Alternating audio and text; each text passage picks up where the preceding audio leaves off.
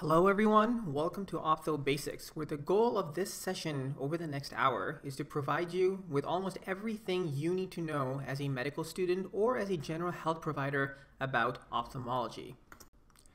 So today we will be reviewing concepts in ophthalmology that are deemed essential by both the USMLE as well as the American Academy of Ophthalmologists. But we should step back for a second and ask ourselves why we're doing this. We all know that the eyes are extremely important for health. If you think about it in a systemic way, if you can't see, you're going to have poor medical compliance, you will have more falls, you will be more predisposed to depression, and as such, vision health concerns all of us as health providers. However, it is recognized that ophthalmology is not as emphasized in medical education around the country. And this is manifest in surveys indicating that up to 50% of primary care interns entering their internships have insufficient ophthalmology skills as gauged by their preceptors. We're going to make sure that at the end of this session, you break that statistics and know your ophthalmology. So let's begin by prefacing that this is by no means an in-depth comprehensive review, but rather we will be going over high yield associations and aiming for the breadth of pathology so that you're familiar with a little bit of everything. If you want to learn more, you can always go to ophthobasics.com where you can take a much more in-depth dive into some of these concepts. So this is what we'll be covering. We'll start off with some anatomy, go on to some eye diseases, then discuss some systemic manifestations of certain eye diseases as well as how these diseases appear in the system in general, and then conclude with some basic eye pharmacology. So when we say we're talking about diseases, we really are going to be aiming for breadth. You can use this slide over here as a sort of cheat sheet in order to help you either on the wards or in terms of reviewing for these pathologies. They're all listed by the first chief complaint, such as acute painless vision loss or a painful red eye, as well as a color coding that can help you triage how urgent a particular problem is. Let's begin with some anatomy. Let's talk about the around the eye. There's six muscles that attach to the eye. The first four are pretty straightforward. You've got the superior rectus that moves the eye superiorly, you've got the inferior rectus that moves it inferiorly, the lateral rectus that moves it laterally, and the medial rectus that moves it medially. The next two are a little bit more confusing. There's a superior oblique that actually acts as a pulley that intorts the eye, it intorts the eye moves it internally rotating towards the nose, and then you've got the inferior oblique that extorts the eye in that it rotates it away from the nose. In terms of innervation, most of these eye muscles are innervated by cranial nerve 3, with the notable exception of the lateral rectus and the superior oblique. A way to remember this is with the mnemonic LR6SO4, lateral rectus sulfate, if you have it. LR is innervated by cranial nerve 6, and the superior oblique by cranial nerve 4. In terms of what closes and opens the eye, I like you to remember this diagram over here. Cranial nerve 7 closes the eye. Think of a hook that's closing the eye over here. And cranial nerve 3 keeps the eye open. Think of these as pillars over here that are keeping the eye open. Now, one thing to note is that the sympathetic nervous system also helps to keep the eye open via Mueller's muscle, and that is why in Horner syndrome, you can have a droopy eyelid as well. Moving on, let's talk about the conjunctiva. This is simply a mucus layer that starts at the edge of the cornea and it wraps around the eye over on the eyelid. The part next to the sclera of the eye is known as the bulbar conjunctiva, and the part that's attached to the eyelid is known as the palpebral conjunctiva. So, behind the conjunctiva lies the sclera. This is just the white part of the eye. It's a rigid collagenous structure that maintains the eye's um, structure. Moving on, let's talk about some of the other structures in the front of the eye. The cornea is a transparent tissue that's the most densely innervated tissue in the entire body. It's innervated by cranial nerve 5. What this means is that if you have an injury to the cornea, it is going to be extremely painful. The cornea also refracts light. It's not just the lens that does most of the focusing in the eye, but the cornea is the first thing that actually takes light and refracts it onto towards the retina. This is why in LASIK surgery, surgeons operate on the cornea and reshape it in order to repair vision. Moving on to the iris. This is a muscle that constricts and dilates the eye. Fancy words for that are miosis and mydriasis. Think of miosis being the smaller word, the hence constrict. Mydriasis is the larger word, hence dilate. The iris starts over here and moves backwards to actually become another structure known as the ciliary body. This is a structure that has two purposes. It firstly accommodates the lens via the ciliary muscle that attaches onto these fibers known as the zonular fibers, which attach to the lens and help the lens constrict and relax and thereby focus. The ciliary body also produces aqueous humor, which is very important to keeping the front of the eye inflated and is crucial to the understanding of glaucoma. The ciliary body keeps moving backwards over here and forms a layer that encircles the eyeball behind the retina in what's known as the choroid. This is a vascular layer that supplies nutrition to the outer retina. Collectively, these three things are known as the uvea. They're known as the uvea, and that word is important because there are certain diseases that are associated with the uvea, which can include the iris, the ciliary body, or the choroid. Moving on, so this is an empty space between the cornea and the iris, and this is where aqueous humor resides. Recall that aqueous humor is produced by the ciliary body and it's what inflates the front of the eye. Well, specifically, it inflates the anterior chamber that's right over here. Now, to understand the flow of fluid from the back uh, where the ciliary body is into the anterior chamber, take a look at this arrow.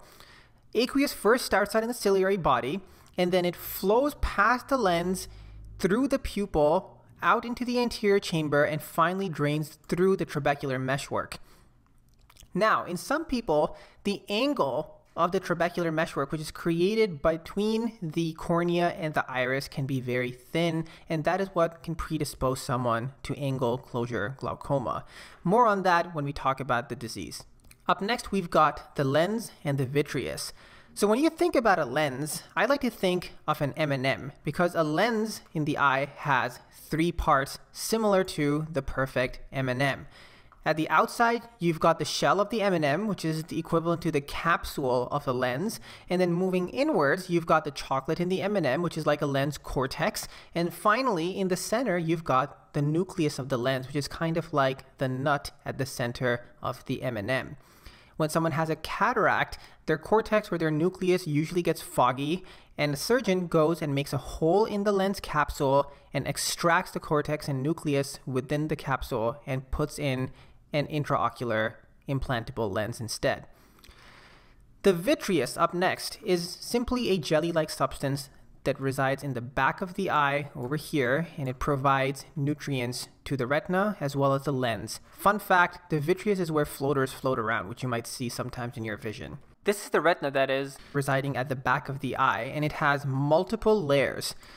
Now, if we look at a picture of the retina over here, let's highlight some anatomical landmarks. You've got the optic disc over here, which is bounded by the sharp margins around it over here in a circle.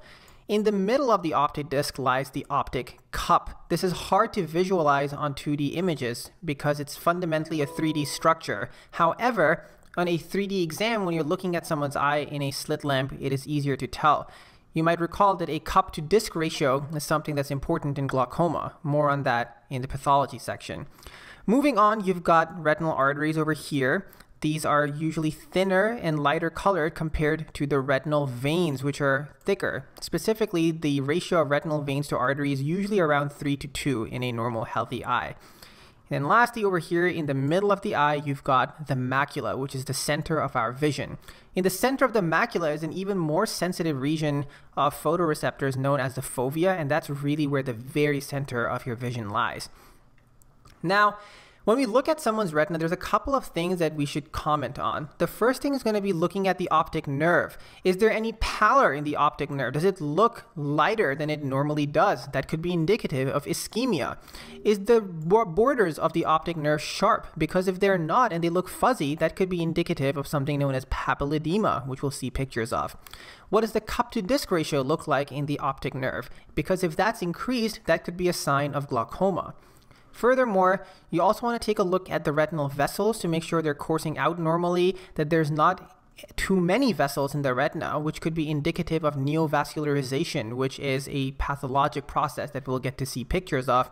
Obviously, you want to take a look to see any evidence of retinal bleeding, which we'll see pictures of. And lastly, you want to comment on the presence of any cotton wool spots, exudates, and drusen, because that can also be indicative of certain pathologies. We'll see pictures of all of these in just a bit. We'll start off by talking about acute painless loss of vision. Most of these diseases are going to either be emergencies or things that are very urgent. Someone doesn't lose vision painlessly and acutely and have a benign disease process going on. This should always worry you. Let's begin by talking about a retinal detachment. Now, if you have a patient that comes into your office saying, geez, doc, I was just sitting around and suddenly I started seeing a lot of flashes of light everywhere. And then I began to notice a lot of new floaters that just became apparent in my vision all of a sudden. And then it almost felt like a curtain fell down over my vision. If someone complains of that, then you should always suspect a retinal detachment. If you take a look inside their eye, you'll see something that looks like the pictures that we see on the right. This is a disease that can be common in patients with really poorly controlled diabetic retinopathy. It can be caused by trauma. It can even be caused by pathologic myopia, where your eyeball is very elongated that can predispose you to some detachments. We already went over the signs to expect with this condition. So if you do suspect this is happening, you really need to emergently refer these patients to ophthalmology or to an emergency room in order to assess whether they should get either laser or surgical treatment as early as indicated. Because without appropriate treatment in time, permanent vision loss can occur with this condition as the retina gets detached and is at risk of being permanently disfigured. Up next, we have a retinal artery occlusion. If you have a patient coming to you in your office saying that they were sitting around doing nothing and all of a sudden their vision in one eye went completely dark, and then you auscultate their carotid artery and you hear a carotid bruit, or you end up listening to their heart and you discern that they have atrial fibrillation, or just notice that they have a lot of cardioembolic risk factors, you should be concerned about a retinal artery occlusion. This is essentially a stroke of the eye. A retinal artery occlusion is essentially a stroke of the eye. P- patients that have carotid disease or embolic risk factors are predisposed to this. We already talked about the presenting signs of this disease process. So if you suspect this, essentially consider this like a stroke. Refer your patient to the ER immediately for a full stroke workup because their eye has stroked out. What can happen next is that they could get a much larger stroke in their brain. So they need to get worked up for this emergently. If you take a look inside these patients' eyes, you'll see what's known as a cherry red macula. There's some pictures of this over here, where essentially what you're seeing is a very pale peripheral retina, but in the middle, right over here in the macula, the foveal region, you'll see a much more darker red retina. And that's because the fovea is the thinnest part of the macula, and you're seeing the properly vascularized choroid behind shining through amidst an otherwise very pale and thicker retina. You'll also notice over here you might see these hyperlucent dots inside the arteries. Those are actually embolic plaques. They have a name. They're known as Hollenhorst plaques. Let's move on and talk about a retinal vein occlusion. So this will present as follows. A patient comes to your clinic and says that all of a sudden they're noticing sudden blurry vision, sudden distorted vision, and then you can shine a light into their pupil and you'll see what's known as an afferent pupillary defect. When you're shining the light between their pupils, you'll notice that their pupils aren't constricting equally. You always need to think about a retinal vein occlusion, even though a retinal artery occlusion is also on the differential right now. But when you look inside their eye, you'll see what's shown on the picture on the right. You'll see a very angry looking retina with lots of hemorrhages everywhere. It's known as a blood and thunder retina. That's classic for examination questions. Blood and thunder retina. These hemorrhages are multiple flame shaped hemorrhages. You'll notice how they're starting at the optic nerve region and then they're fanning out in all different directions. They're fanning out from the optic nerve. That's what's characteristic of a flame-shaped hemorrhage. This is also going to be in patients that are older that with thrombotic risk factors. In this case, you need to urgently refer them to a retina specialist or an ER. It's not as emergent as a retinal artery occlusion because this is not exactly a stroke, but it's still something that can cause permanent vision loss if not addressed urgently. Let's move on and talk about amaurosis fugax. This is just a fancy word for transient vision loss in the eye. It's essentially a TIA of the eye. In this case, you'll have a patient that comes to you saying that they lost vision in one eye all of a sudden painlessly, but then the vision came back after a few minutes. And what's happened is that they had a, pla- a plaque that came and clogged the eye, but then that plaque dislodged and it moved further down the artery and their retina got reperfused and now they can see. Their vision comes back after a few minutes before permanent damage is done. So in this case, what you need to do is refer them for urgent neurovascular workup because this is still a embolic disease process. And maybe they got lucky this time in that this was transient, but who knows when they can throw another embolus into either their eye or even into their brain. So these patients warrant an urgent neurovascular workup. Up next are some pictures of retinal hemorrhages. These can be caused by a whole host of different etiologies, everything from sepsis to infections to diabetes.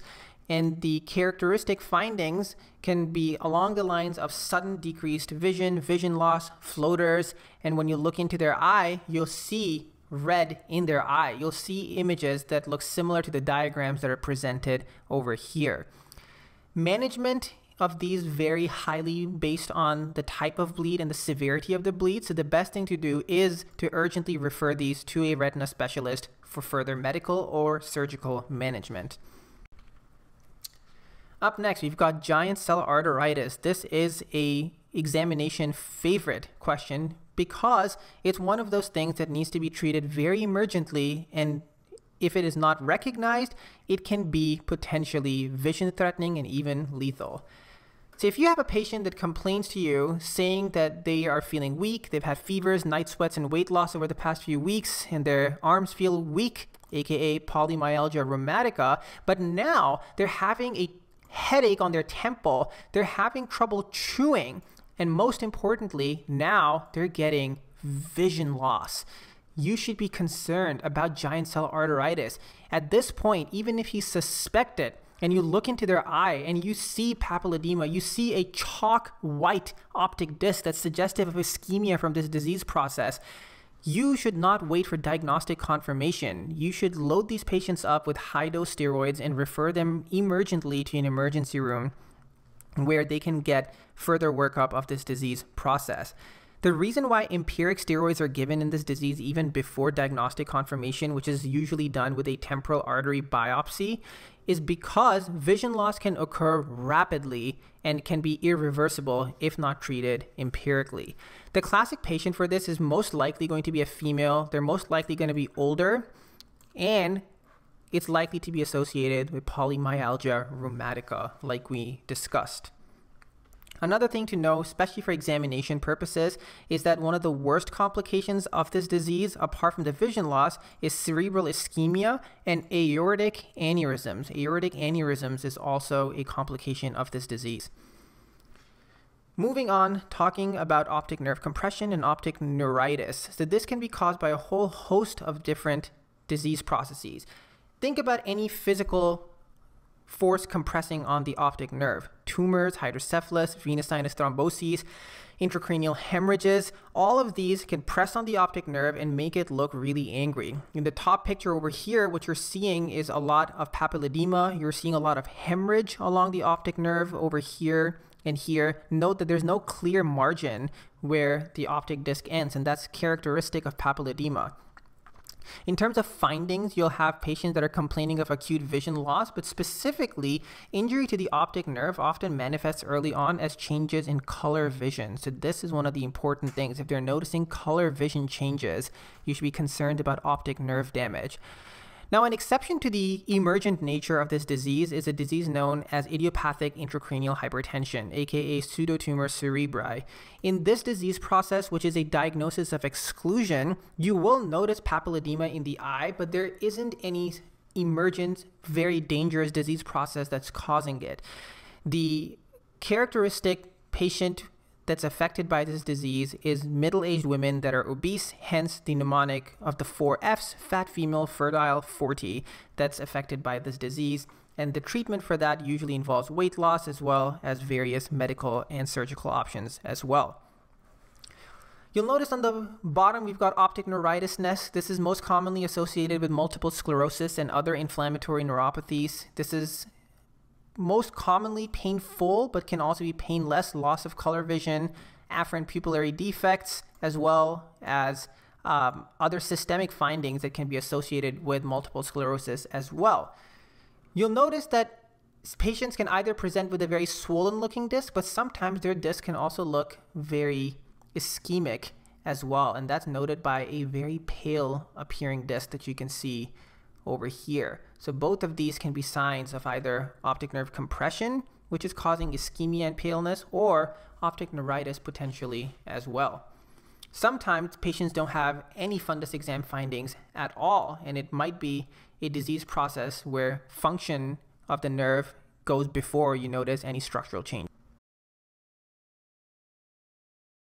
Let's begin by talking about an emergent cause of a very painful and acutely red eye, which is known as angle closure glaucoma. Now, recall that in our section on the anatomy of the anterior chamber, we talked about how aqueous humor flows from the ciliary body back here across the lens through the pupil and out into the anterior chamber and then the trabecular meshwork.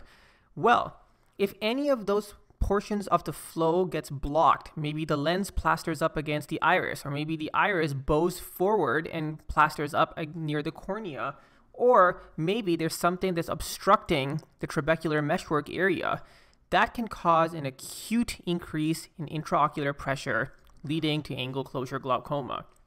So if you have a patient that comes in saying that they were watching a movie in the dark and all of a sudden they had severe pain in one eye, they're having blurry vision, and then you palpate their eyeball and it's actually hard, and you look at their pupil and it looks like the picture over here. It's mid dilated and it's unresponsive and the cornea looks a little hazy. Well, you should suspect angle closure glaucoma. In terms of the epidemiology for this, people of Asian descent tend to have narrower anterior chambers. That means that the angle that's created between the iris and the cornea, this angle is narrow that predisposes the trabecular meshwork to get blocked, and that predisposes them to this particular condition. Also, patients that have their um, eyes dilated, when their iris gets dilated, it all shrinks up and goes towards the periphery, and that clogs up the anterior, the trabecular meshwork as well. So any medications like an anticholinergic drug or sympathomimetic drug, think cocaine, think any drops that dilate the eye can also predispose someone to an angle closure attack. We already talked about what the signs of this are. It's very painful. And what you do in that case is you refer them urgently to the emergency room. And over there, under the guidance of ophthalmology, they're going to get a cocktail of almost every glaucoma drug in the cabinet. It's going to be oral, IV, potentially topical as well. But one way we can actually prevent this from occurring is simply by drilling a hole in the iris using a laser. If you drill a hole across the iris over here, the flow of the aqueous humor, instead of going all the way around through that long route, can now just proceed through a shorter route, which is less likely to get blocked. That procedure is known as a laser iridotomy. Without treatment, this condition can be rapidly progressive in terms of permanent vision loss. So very important to recognize and treat it right away. Let's talk about some less serious causes of red eyes. The first one is blepharitis. This is basically inflammation or an infection of the eyelids. That's what blepharitis means, an inflammation of the eyelids. You'll see something that looks like this on the picture over here. It's going to be crusting around the eyelids. Um, it's going to be more likely to be chronic than something that's acute. irritation all around the eye. It's most commonly caused by staph. However, there's a lot of other infective and allergic etiologies associated with this. And the way you treat this is the ophthalmologist's favorite prescription lid hygiene, making sure you're washing your eyelids frequently, and as well as applying warm compresses with a towel regularly. The next thing we have is a dry eye. Now, this seems like a benign condition. A lot of folks that wear contact lenses will sometimes feel that their eyes are dry. To the ophthalmologist, though, dry eye disease is a big deal because although it may seem benign, in the long run, dry eyes can be predisposed to a lot of corneal diseases, pain, as well as vision loss and infection. A thing to know for your exams is that dry eye doesn't necessarily always occur on its own, but can also be associated with autoimmune diseases like Sjogren's is the most common one. Moving on, let's talk about cellulitis. The most important takeaway from this slide would be to differentiate preseptal cellulitis versus orbital cellulitis. Extremely important. Cellulitis is simply an infection of the skin and the periskin regions. In preseptal cellulitis, it's going to be an infection of your eyelid and the periorbit tissue. Think a swollen, painful eyelid, some erythema, and plus minus some fever, not necessarily. This is relatively benign. You can just treat this with oral antibiotics and close observation. However, if you have the symptoms of preseptal cellulitis plus plus either proptosis and or ophthalmoplegia, which basically means that your eye cannot move. Something looks like what you see in the picture over here. Then your patient likely has orbital cellulitis. This means that the infection has progressed into the orbit itself, and that is a medical and surgical emergency because behind the orbit lies your optic nerve, which can get compressed by the infection, leading to blindness. But also, that's the region where your venous sinuses, cavernous sinus, lies. If that gets infected, you can get a cavernous sinus thrombosis. Behind the cavernous sinus lies your brain, so you can also get a brain abscess if this is not emergently treated. So, this requires inpatient admission, IV antibiotics, rapid imaging, and even possible surgery to decompress and drain regions of the orbit. We already talked about some of the complications that are feared with this disease. Very important to recognize. If there's anything you remember, remember these cardinal signs of orbital cellulitis, proptosis and ophthalmoplegia, plus your usual signs of swelling, potential fever, and erythema. All right, Talking next about conjunctivitis. There's three big categories of conjunctivitis. You've got your bacterial conjunctivitis. This is usually going to be unilateral and you'll get thick purulent discharge like the one you see over here. This is most commonly caused by Staph aureus, so you just treat this with antibiotic eye drops. However, a couple of things to know is that in newborns, all newborns in the United States get prophylaxis against gonorrhea conjunctivitis because that can be something that is vision threatening to newborns. So, right after they're born, they're actually given erythromycin eye drops in order to prevent gonococcal conjunctivitis. Another conjunctivitis that's vision threatening is trachoma. This is caused by chlamydia subgroups A through C, and this is a leading cause of global blindness, especially in countries where there's not good eye care Children and women are more predisposed to this infection. It starts out as a regular conjunctivitis, but then can scar down the conjunctiva and the cornea, leading to permanent vision loss. Up next, you've got viral conjunctivitis. This is just simply your usual pink eye. You know if you've had this disease that it's highly contagious, so you need to make sure that you are using separate towels and practicing good hygiene, hand washing. It's commonly caused by adenovirus and it's self limiting. Allergic conjunctivitis is basically your springtime allergies. It's IgE mediated hypersensitivity. You'll get a itchy, tearing eye, and this is just simply treated the way you treat any allergy with antihistamines, artificial tears, and um, measures to ensure comfort.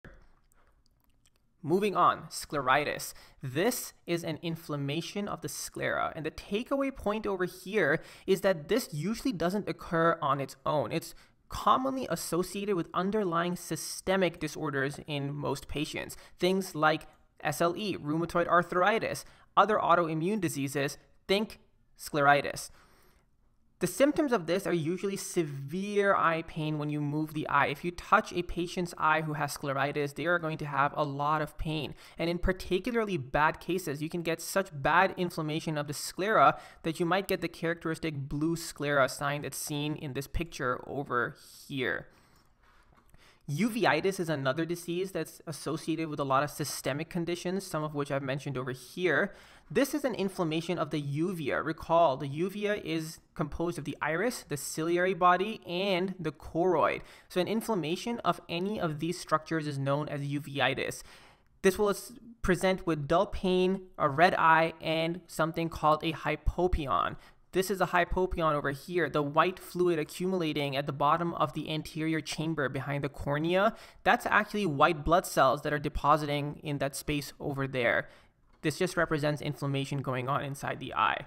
Lastly, you've got endophthalmitis. This is an infection inside the eye, an infection inside the eye. If you take a look in the eye with a slit lamp, you will see white blood cells floating in the vitreous. And this is an emergency because it can lead to rapid blindness if untreated.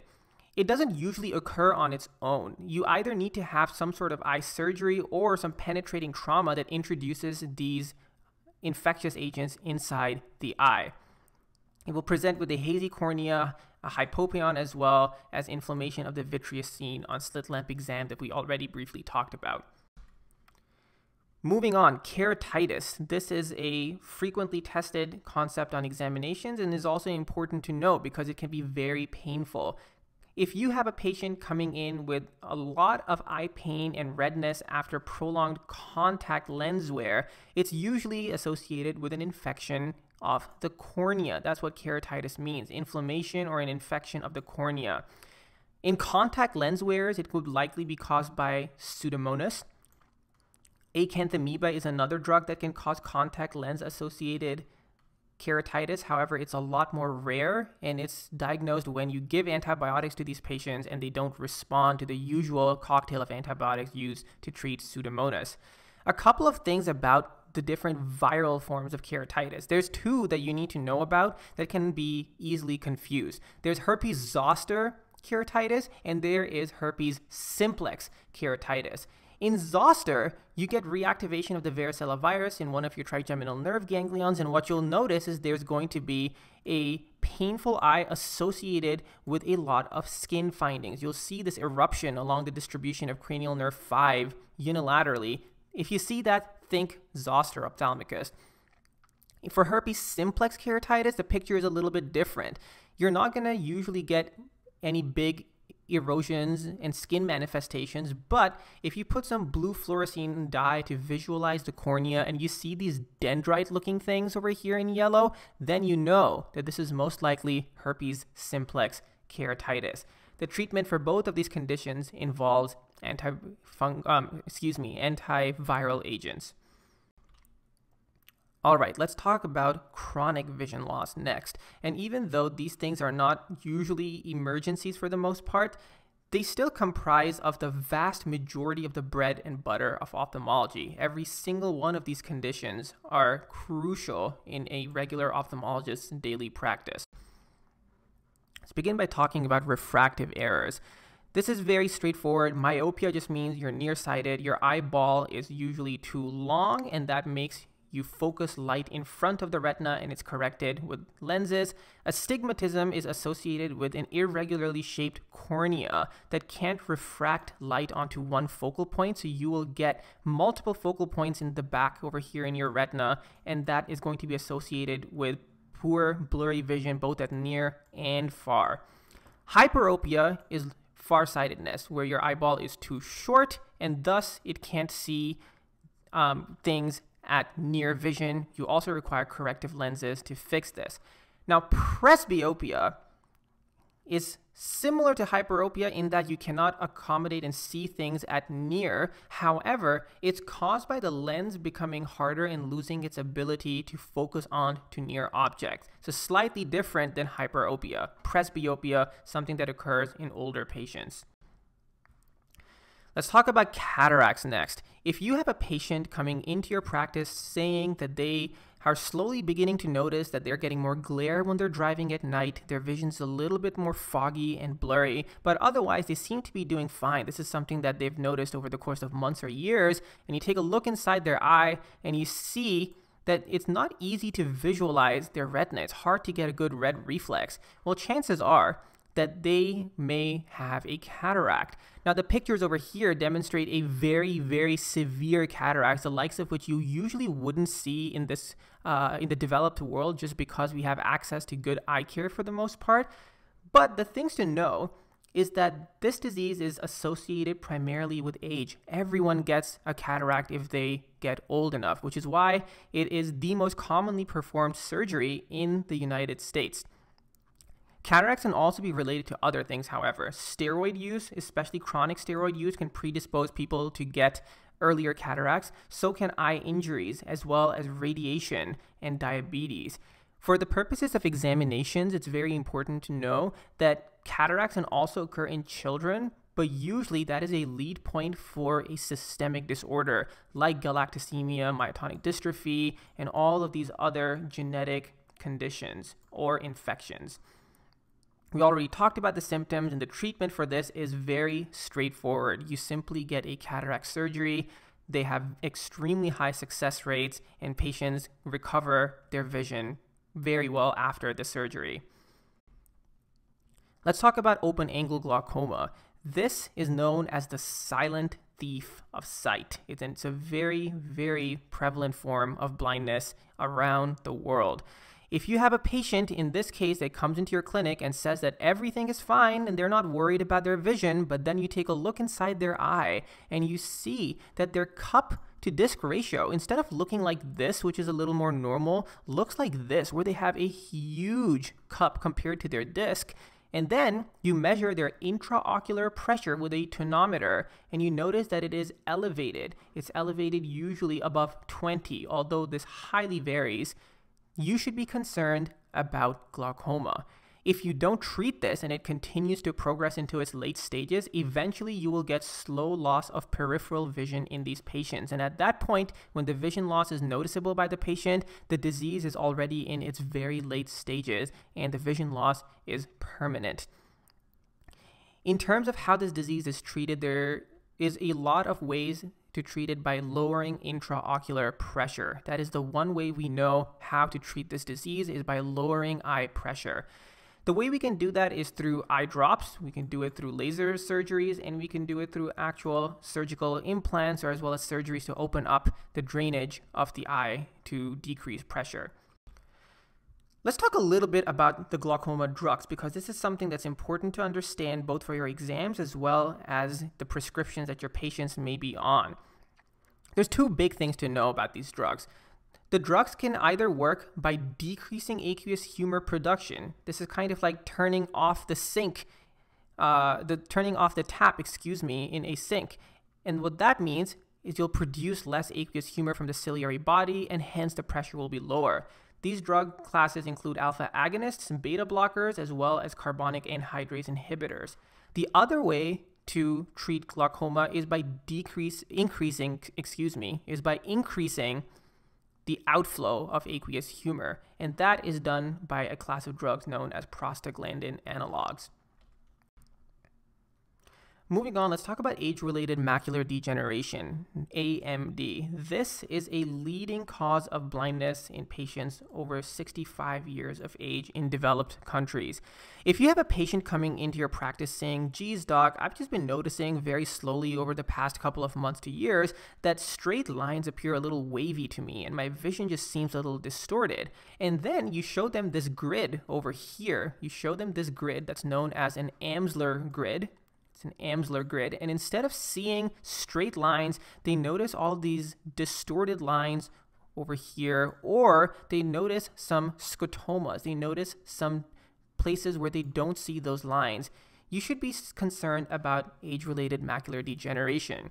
You'll take a look inside these patients' eyes, and on their retina, what you'll see are these deposits over here, these hard looking, yellow, well defined deposits known as drusen. These deposits progress in the macula to become this island like structure over here. This is called geographic atrophy, which is seen in the later stages of the disease. There's not really much we can do for this disease except controlling risk factors, the biggest one of which is smoking. There's some evidence that says that providing a certain cocktail of vitamins, known as the AREDS vitamins, also helps slow down the progression of this disease. But apart from that, this is a progressive disease about which not too much can be done.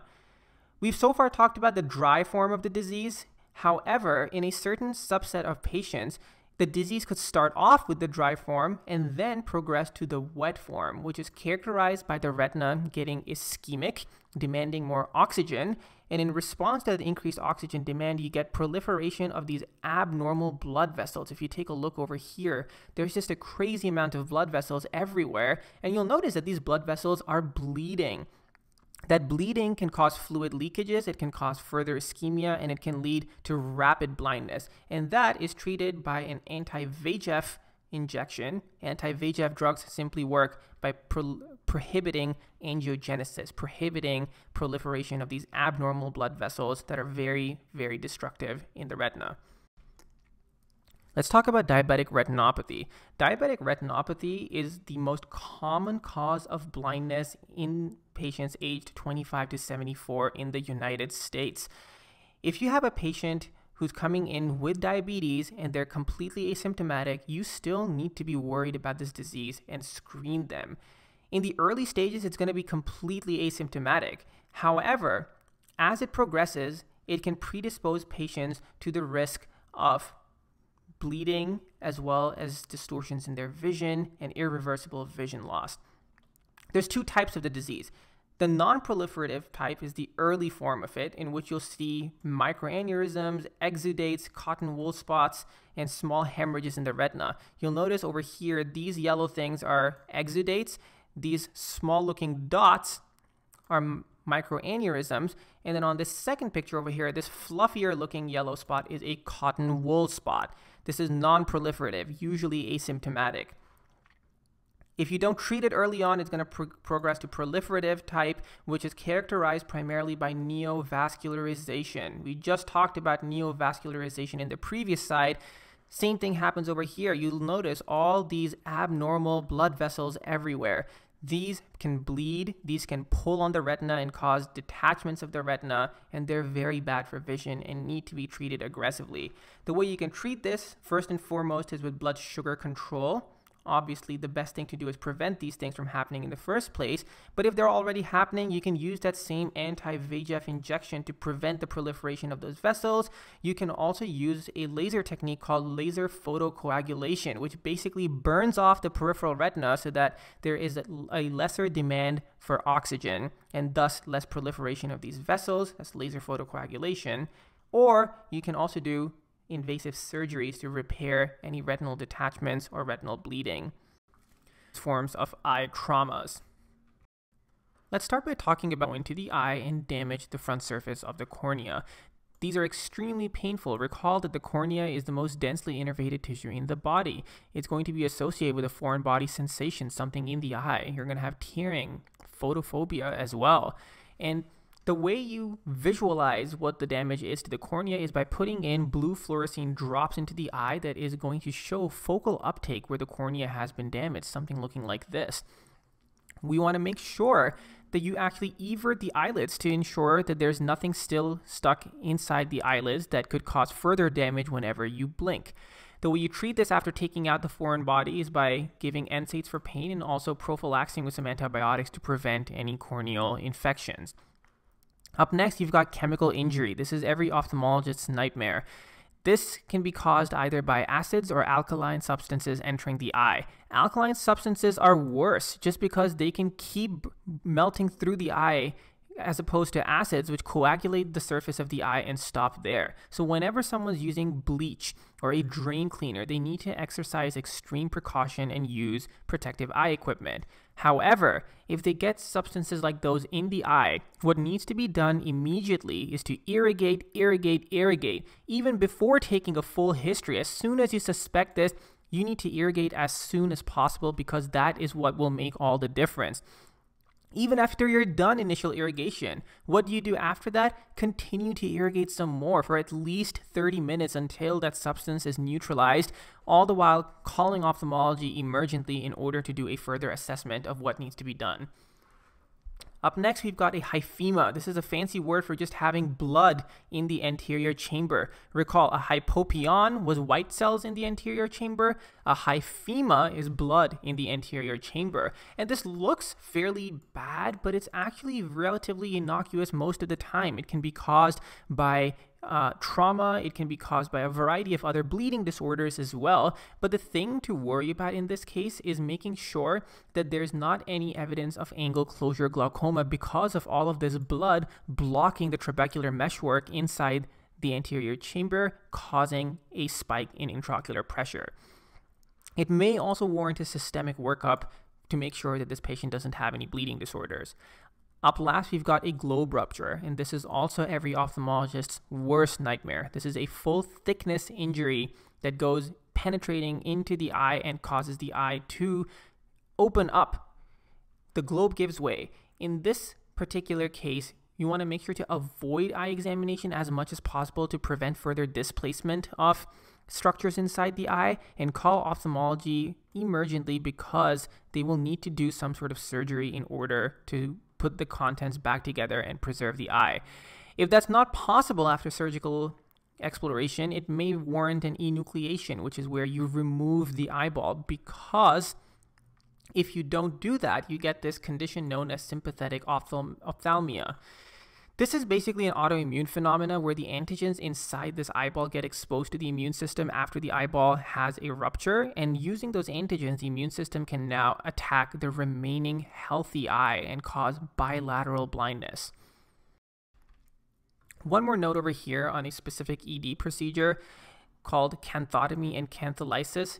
This is something that's associated with ocular compartment syndrome. What this is, is an emergency which is caused by some sort of rapid pressure buildup behind the eyeball. This could be a retrobulbar hematoma, it could be a tumor, it could be cellulitis, but you'll notice that there will be a rapid increase in pressure, painful eyeball, it's going to be bulging out, the intraocular pressure is likely going to be high, and when you suspect this, it can cause blindness in under an hour. So it's very important to open up the orbit space, relieve some of that pressure by exposing it to the outside, and that's done by cutting out the lateral border of the canthus and thereby exposing the orbital contents towards the anterior regions and thereby prevent acute pressure associated permanent vision loss. You do this even before getting diagnostic imaging. It's a clinical diagnosis just because of how emergent it is. Let's talk about pediatrics. Three main things that we're going to be covering today. Let's look at retinoblastoma. It's caused by a mutation in the retinoblastoma gene. It can be bilateral and is often frequently associated with other tumors like osteosarcomas and pinealomas as well. The key exam finding is going to be leukocoria, which means a white reflex instead of a normal red reflex, which you can see over here. Early diagnosis and management using multimodal oncologic care is crucial for preserving vision as well as preserving life because if not treated early on, this can be something that is lethal. Up next is retinopathy of prematurity. This is a disease that's found in preterm infants, commonly those that are under 1500 grams birth weight or those that are being given supplemental oxygen in the newborn ICU. Basically, in a premature infant, the retinal blood vessels have not finished developing fully. So, as an ophthalmologist, you have to make sure that they are developing normally, and if they aren't, it might warrant treatment, including lasers and other modalities, and needs to be followed very closely to prevent vision loss. Strabismus is a problem with eye alignment. Strabismus is basically unaligned eyes that can be caused by a lot of different causes genetic, refractive, muscular insertion issues. The things to know, first off, for terminology, is that esotropia is an inward alignment issue, whereas exotropia is an outwards alignment issue. Over here, you'll see this particular patient has esotropia. The way you diagnose this is by doing a cover uncover test, which basically will cause the misaligned eye to flip back into normal position once you cover the other eye. And the, the way you treat this is going to be with either prism glasses that can correct the vision coming into the eye, as well as eye patches, surgeries to the muscles to pull the eye back into normal position, as well as addressing any underlying issues causing this. Lastly, you've got amblyopia. This basically means a lazy eye. This is a problem in children that arises from one eye being weaker than the other. This can be caused by one eye having a congenital cataract, it can be caused by refractive errors, it can even be caused by strabismus. And what happens in kids is an interesting neurological phenomena where the dominant eye that sees better just takes over and the brain shuts off the less well seeing eye.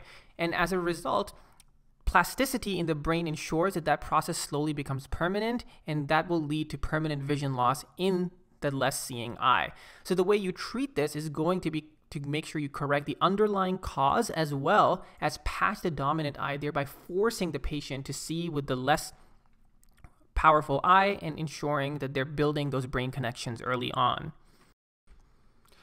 Let's talk about some eye movement disorders, and this is our last section on the various eye diseases few things to address over here. The first is thyroid eye disease. This is a disease that pathognomically looks like this. If you see a patient coming in with bilateral proptosis, in that their eyes are bulging forward, you can see the sclera under their corn uh, under their cornea and iris, both at the bottom and the top, and their eyes are bulging out this way. You should be concerned about thyroid eye disease. This is an autoimmune phenomena that's associated with orbital fibroblast proliferation, that's associated with the immune system, that's also affecting various thyroid conditions like Graves and Hashimoto's. It's not actually associated with the hyperthyroid state as much as it's associated with the immune response to it. In terms of risk factors, smoking is a factor that makes this disease worse. It's very important to counsel patients to stop smoking. Other things that can affect it is radioactive iodine treatment for the actual thyroid disease can make the eye disease worse. The management of this is complex and long term and involves ensuring that the eye is protected, especially when it's bulging out like that. It can get dry, so you need to protect that with tears. You can also have severe disease manifestations that could necessitate steroids, it could necessitate decompression surgery, or further advanced pharmacologic therapy. Let's quickly talk about the nerve palsies and we'll briefly touch on them because there's a lot that can be unpacked over here. Cranial nerve 3 palsy is the classic down and out eye, which you can see over here. This eye is pointing in this direction, down and out. It's also associated with a blown pupil, which is basically a mydriatic pupil because pupil constriction is controlled by cranial nerve 3, which is now malfunctioning. A droopy eyelid is also associated with this. Recall from anatomy that cranial nerve 3 innervates the levator muscle that keeps the eye open. This can be caused by a variety of causes. It can be vascular compromises of the nerve due to chronic issues like diabetes or hypertension, or some very serious life threatening etiologies like tumors, aneurysms, cavernous sinus thrombosis, amongst others. Cranial nerve 4 palsy can be caused by similar etiologies as cranial nerve 3, but the classic sign you'll see is that patients will tilt their head away from the lesion. Recall that cranial nerve 4 innervates the superior oblique that intorts the eye towards the nose. It intorts the eye towards the nose. So, if you lose that ability, you'll try to compensate with your head by tilting it in that direction, which is also the direction that's away from the eye that's affected. A cranial nerve 6 palsy manifests in an inability to use your lateral rectus muscles. In this particular patient, he's trying to look in this direction. This eye is doing fine, but this eye cannot do that because he has a cranial nerve 6 palsy on this side. This can be due to the same factors as above, in addition to in- increased intracranial pressure. That is one of the interesting phenomena seen in pseudotumor cerebri, a cranial nerve 6 palsy in some cases. Last, you've got a cranial nerve 7 palsy. This is also known as a Bell's palsy when it's idiopathic, and this can be due to a variety of reasons. I encourage you to look at some neural neurologic videos in order to learn more about this palsy, but for ophthalmology purposes, this is going to manifest with an inability to close the eye as well as a facial droop that will affect the entire face if the lesion is an upper motor neuron lesion as well, uh, or only the lower face if the lesion is a lower motor neuron lesion. Obviously, because these patients won't be able to close their eye, you need to worry about dry eye disease and ensure that they have adequate lubrication and protection. All right, so now we're done with all eye diseases, and we're just going to very briefly touch on eye manifestations of systemic diseases. Let's begin by talking about hypertension. This is similar to diabetes in that it can cause microvascular damage, both in the kidneys as well as in the retina. It can predispose you to retinal hemorrhages because you can get a lot of microaneurysms and vascular compromises. And on your retinal exam, your findings are going to be similar to diabetic retinopathy. Recall the exudates, the cotton wool spots. However, in severe hypertension, you can also get papilledema. Recall that papilledema is a swelling of the optic nerve that manifests as not being able to see a clear demarcation or border of the optic disc. The way you treat this is just by making sure that patients are controlling their systemic blood pressure adequately. Up next is sickle cell disease. This is an eye disease that is more common in patients that have the HBSC genotype or the HBS thalassemia genotype compared to being homozygous for sickle cell disease.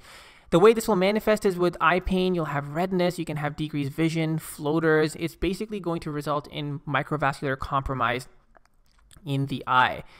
In terms of diagnosis, you can see characteristic changes in conjunctival blood vessels on your slit lamp exam as a trained ophthalmologist, as well as some retinal abnormalities indicative of ischemia. You can get ischemia in this disease that can lead to neovascularization. Recall that neovascularization is that awful condition where you grow abnormal vessels that can bleed and tug on the eye, causing detachments, and that's what can happen in sickle cell disease.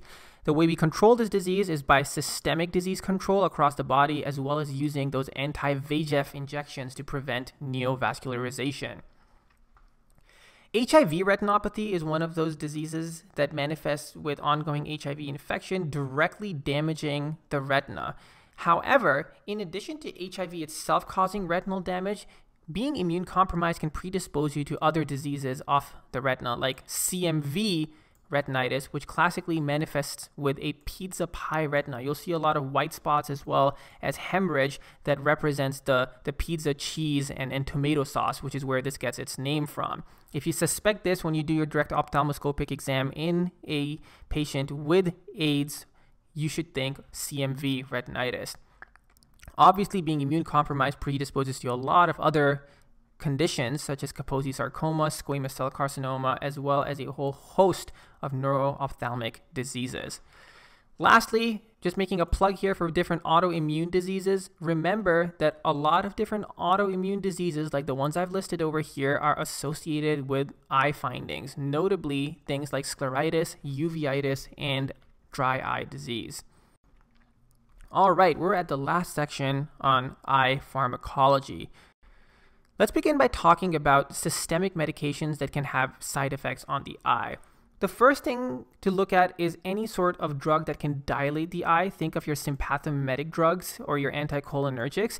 These drugs can also predispose you to angle closure glaucoma. Remember that and look back at our section on angle closure glaucoma to learn how this happens. Steroids, both topical on the eye as well as systemic, can also worsen eye infections. This should make intuitive sense because steroids suppress the immune system, but they can also worsen glaucoma and accelerate cataract formation as well, which is why ideally we don't like to have patients on chronic long term steroids as ophthalmologists. Hydroxychloroquine is also another drug that can have ophthalmic manifestations, characteristically something known as a bullseye maculopathy. You can see a picture of the bullseye right over here on the retina. This can lead to irreversible retinal damage, and that's why prolonged use of this drug, often for autoimmune conditions, requires regular eye examinations in order to see whether this condition is developing. Lastly, let's talk about systemic effects of ocular medications. There are a variety of drugs in ophthalmology that are used, like beta blockers for glaucoma, alpha agonists for glaucoma, as well as anticholinergics for a variety of reasons. And recall from your basic pharmacology lectures that all of these drugs have a wide range of systemic side effects. If you put these drugs in the eye, they do get systemically absorbed, and hence you will have similar side effects on ocular ad- administration of these drugs as you do with systemic as well. The way you can avoid this is by squeezing on your eye punctum when you're putting these drugs in, just so that most of them don't drain in through the tear ducts into your systemic circulation and thus exacerbate systemic side effects. All right, and with that, we finish our basic high yield rapid fire review of ophthalmology. I hope you found this useful and would like to remind you that this is crucial not just to knowing basics of ophthalmology for your exams, but also going forward as a healthcare provider in ensuring that our patients can have the vision with which they can make sure that they're taking their medications properly, make sure that they're avoiding falls, making sure that they're avoiding a lot of psychiatric manifestations such as depression and anxiety associated with low vision loss, and improving their quality of life.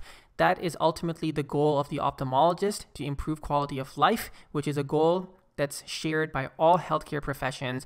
And hopefully, by watching this video today, you are going to contribute to ensuring that our patients get the best eye care possible. If you want to learn more about any of these conditions, I encourage you to go on our website, ophthobasics.com, where there's going to be more information about each of these conditions that can help you learn more about the eye. Thank you so much.